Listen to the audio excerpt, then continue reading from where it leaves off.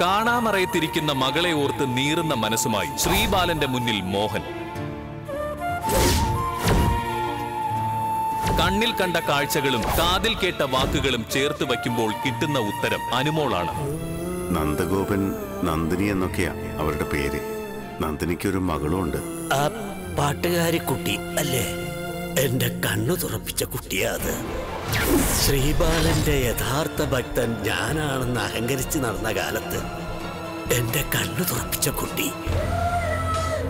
മകളെ അന്വേഷിച്ചുള്ള മോഹന്റെ ഈ യാത്ര ചെന്നെത്തുന്നത് അനുമോളിലേക്കാണോ?